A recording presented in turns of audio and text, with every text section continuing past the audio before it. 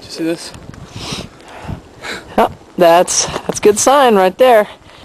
Alright, so we found this natural lean-to here. Can't zoom out anymore, but Brad's here going to show how you could use this object that we found in nature here as a natural shelter. Yeah, it's pretty nice in here. Big. You get in there and get out of the... Get out of the rain. Yeah. And uh, yeah, there's a little opening right here, but you could throw some boughs over that and seal it up pretty watertight, and uh, maybe seal up one of the entrances.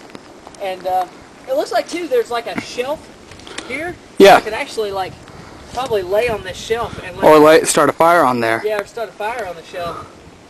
And uh, and then the, the Keep other warm. chamber would be more like a cold sink. So that's pretty cool. Let's see if I can stick my head out the top here. Hello.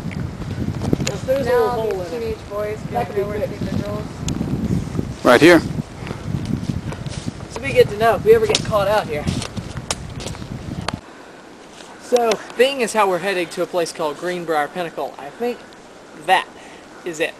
And seeing this from the ridge reminds me of all the Indiana Jones movies that I grew up with and how, you know, you take something like that and I could just see it becoming the paramount symbol at the beginning of beginning of the movie. So, it's pretty cool. Just a neat little neat little tidbit, but uh, it's always nice to get a to get a view from far away of where you know you're going to end up. Okay, so we just came up a very muddy, very steep, very tiring hillside, um, and now it's flattened out again. And uh, Looks to me, Brad, like uh, that looks like exactly where we were last weekend. yeah, Um, so, aside from our little detour through Hell's Den or Devil's Den, we're right back where we were last last year or last Semester? was. What? last Saturday. Last Saturday. So it turns out we did in find. It appears that we did in find climb the cat stairs, and we did get We to did top them. But find we just took the shorter, but even more off-trail route yeah. than this path that kind of circuits around the uh, around the bend. Right, So, so- uh, that makes me feel good. That makes me feel better. That, Yeah. that we weren't that we you know our our idea of going off the beaten path even worked out last time. So. Yeah. Your manhood is redeemed? Our manhood is Our redeemed. manhood is. That's awesome. I mean, not that. Al- Although you know, we As- have a as if it was ever totally did questionable. everything that we just did. So. So Monica and Rob are climbing the cat stairs right now. it's a lot wetter today because of the rain. But uh, at least we, at least we know what's coming.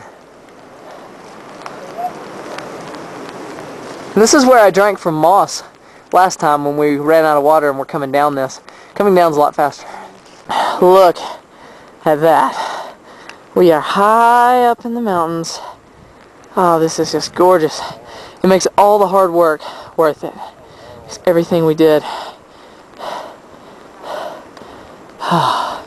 so much better when you see a view like this.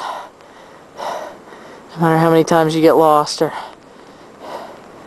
no matter what you experience out here as far as getting your hands dirty in the mud or climbing up steep slopes, being out of breath, being hungry, being thirsty.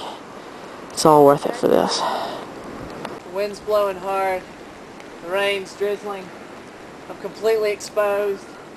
I can look thousands, thousands of feet, miles, miles miles across the Smokies. I can see all these other mountains of just various shades of gray in the water vapor and just the floor of the valley and of all the mountains I've, I've climbed a lot of mountains and this this definitely ranks within the top 10 of views I've ever seen.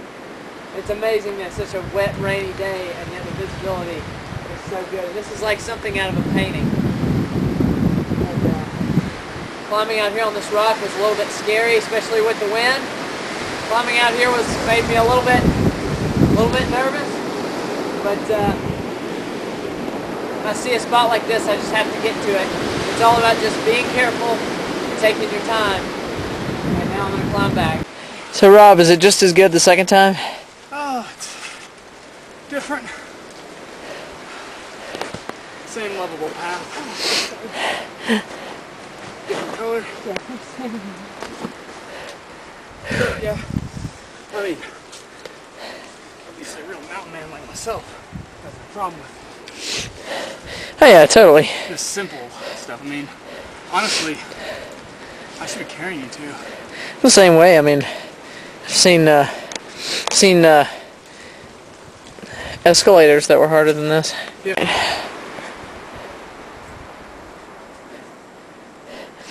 And this is the Roto Tunnel, which is listed in the guidebook as basically a hands and knees crawl, but yeah, you can do it if you just stay low.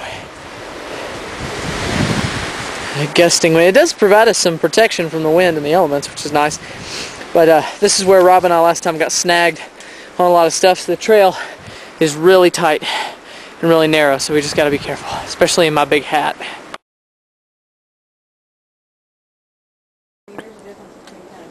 Okay, so we found this big cave. This is pretty cool. This is like the only dry ground we've seen all day. Just back up under this cave. Well, it's not really a cave, it's just like an overhanging rock. It's not a cave in the sense that Rob and I will be in it for two hours. Well, we're on our way down from the Greenbrier Pinnacle. Ran into this wonderful little cascading stream here. See it running all back through here. It's gorgeous. All these moss covered rocks over here. We're almost out. Alright, so we're back on the established trail system finally, and um, we obviously found this. It's gorgeous, absolutely gorgeous. Uh, even for a bad day, which it is, I mean, it's wet, it's miserable, it's cold, but you know, I got my pants rolled up, I got my boots on, my camera out, it's, it's gorgeous, I love it. We got about a mile and a half back to the road, and then we got a little bit of a walk down to the car, but other than that, we're home free. Okay, so as it's close to the Easter season, uh, and they're selling Cadbury eggs, I brought three caramel Cadbury eggs for each of us. And this is what they look like. One for each of us. One, one for each of us. That's right, three total, one for each of us. That's sort of like a toast to our success. So, I think this is a good tradition to have when you're hiking. So, yum yum.